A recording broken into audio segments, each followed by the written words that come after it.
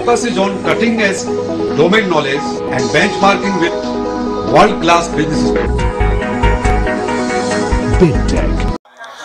एक शाम होली के नाम एक शाम होली के नाम हमने जो रखा है कि होली का त्यौहार आने वाला है और मैं भी करीब छः सात साल से आठ साल से काम कर रहा हूँ और ऐसा लगा कि मेरे को अपनी टीम को अपने मिलने वाले लोगों को जो सारे लोग टीम जुड़े हुए हैं जैसे कि मेरा मैन पावर का काम है सब लोगों के लिए गेट टुगेदर होना चाहिए चाहे वो किसी भी डिपार्टमेंट से जुड़े हैं, चाहे अपना बिजनेसमैन लोग हैं, चाहे मेरी सिक्योरिटी करते हैं सिक्योरिटी गार्ड्स हैं, हमारे बाउंसर्स हैं वैली ड्राइवर्स हैं, ताकि सब लोगों को एक पार्टी का मौका मिले और होली का त्यौहार भी है।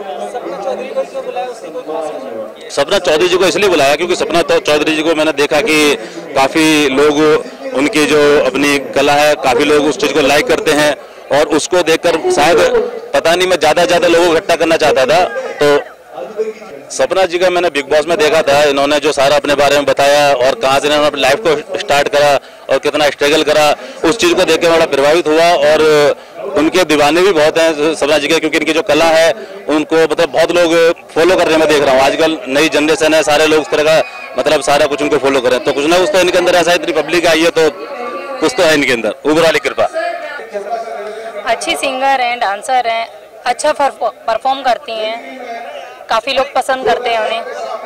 बस जैसे लोग पसंद करते हैं ऐसे हम भी पसंद करते हैं। सो इसीलिए छोटे से फ़ंक्शन में उन्हें बुलाया है कि वो चार चाँद लगा सकें। आपकी होली की क्या तैयारी है?